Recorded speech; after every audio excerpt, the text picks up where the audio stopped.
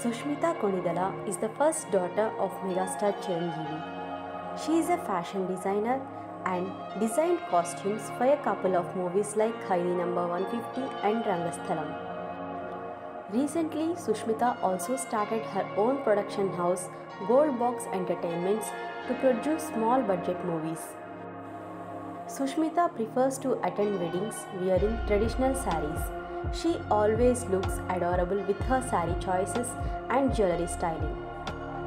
Here are beautiful sari and jewelry collection of Sushmita on festivals and weddings.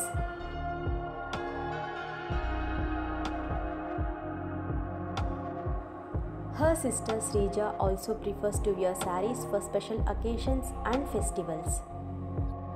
Sreeja wedding saris and jewelry designs are in trend till today. Her pick for sister Niharika Konidela's Pellikuturu function was a stunning navy blue Banaras saree. Sreeja Kalyan recently shared some unseen throwback pictures of Niharika Konidela's mega wedding celebrations that had happened in Rajasthan.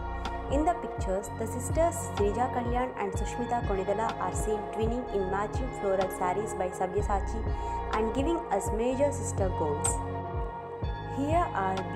Traditional and contemporary saree styles of mega sisters for your inspiration. If you like this video, please like and share. Do subscribe to Elite Studio Wall for more updates.